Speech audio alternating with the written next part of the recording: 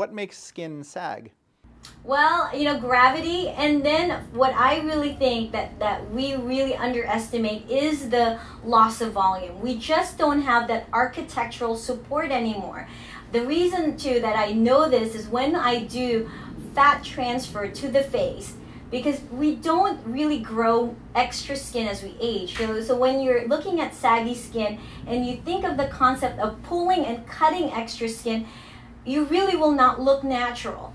But when I refill, revolumize, whether that be with fillers or fat or plasma, and we see that natural revolumization, there's no more saggy skin. And so a lot of it is the loss of that architectural integrity, and we can recreate it.